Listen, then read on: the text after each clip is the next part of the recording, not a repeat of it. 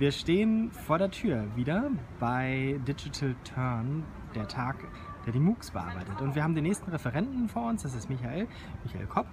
Und Michael hat sich die Frage gestellt und wird sie gleich auf dem Podium beantworten, gibt es sowas wie europäische MOOC-Strategien? Was hast du bei der Suche danach herausgefunden?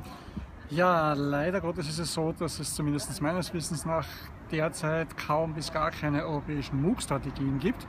Ähm, das hat einerseits damit zu tun, dass die MOOCs nach wie vor ein neues Medium sind, ähm, neue Bildungsformen sind, die noch sehr stark im Experimentierstadium verhaftet sind.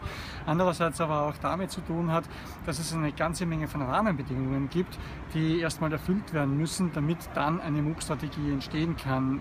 Dazu kommt allerdings auch noch, dass MOOC-Strategien ja eigentlich relativ weit unten angesiedelt sein müssten in der Strategiehierarchie sozusagen, weil wenn ich sie einbetten wollte, dann müsste ich darüber mal eine E-Learning-Strategie legen und darüber dann noch eine Bildungsstrategie für die jeweilige Hochschule. Und die Frage ist, ob es die beiden darüberliegenden Strategien überhaupt gibt. Ähm, Herausforderungen gibt es hingegen eine ganze Menge, die mit ähm, MOOCs zu tun haben und dem Einsatz von MOOCs zu tun haben auf unterschiedlicher Ebene. Ähm, ich zähle mal so ein paar wesentliche auf. Ähm, zum einen hinsichtlich der Lehrenden ist es doch mal so, dass Lehrende überhaupt keine Verpflichtung haben, mit digitalen Medien zu unterrichten. Sie haben auch keine Verpflichtung, Online-Kurse zu organisieren und abzuhalten. Gleichzeitig ähm, ist die Motivation von ihnen auch nicht sehr hoch, ganz einfach aus dem Grund heraus, weil diese Leistungen meistens nicht remuneriert werden. Das heißt, sie bekommen kein extra Geld dazu und oftmals ist es auch so, dass viele Kolleginnen und Kollegen sie fragen, warum machen sie denn das überhaupt? seitens der Studierenden ist einfach die Frage zu klären, die sich die Studierenden immer fragen, nämlich wie viele ECEWS-Punkte bekomme ich denn, wenn ich so einen MOOC mache? Ähm, das ist die Frage der Anrechenbarkeit, zunächst mal an der eigenen Hochschule, aber auch dahingehend, dass andere Hochschulen, die Drittanbieter-MOOCs verwenden, ja auch diese Anrechenbarkeit klären müssen, die überhaupt noch nicht geklärt ist.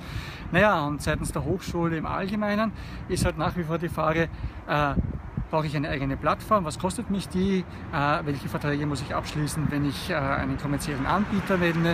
Äh, was muss ich tun, um überhaupt MOOCs anbieten zu können? Und dann noch die große Frage, für wen mache ich die denn überhaupt? Nämlich einerseits für eine breite Öffentlichkeit oder andererseits für die Studierenden oder für beide.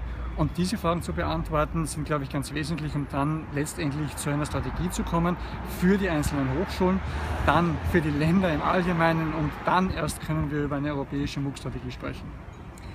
Wunderbar, in zweieinhalb Minuten das, was du jetzt gleich auf der Bühne nochmal ausführlich erzählen kannst. Wir empfehlen also den Livestream äh, Digiturn, ähm, heißt der Hashtag, über den man es finden kann.